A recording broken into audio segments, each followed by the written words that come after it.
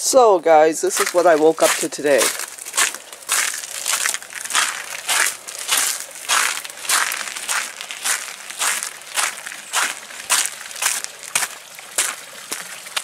Yep, snow.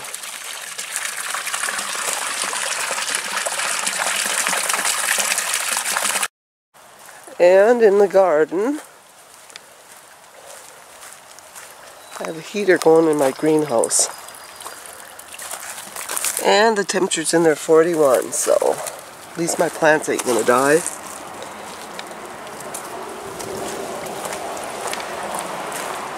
And right here I was digging around and I found this old window. So I'm removing the glass from it and I'm going to make a trellis. And I'll show you how it looks when I'm done.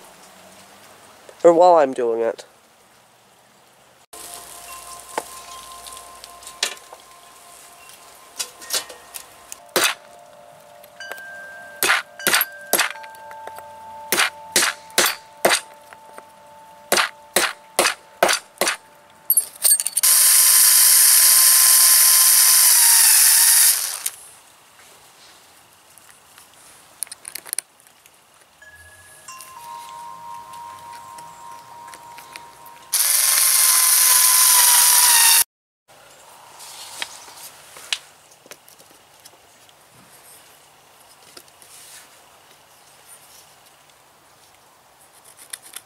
Four inches I'm going to go.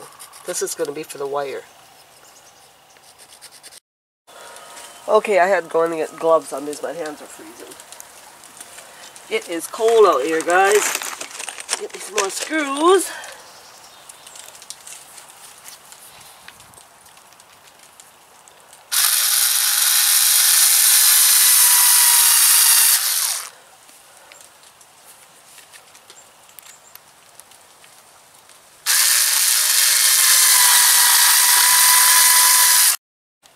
Okay guys, then I'm just going to be using this wire.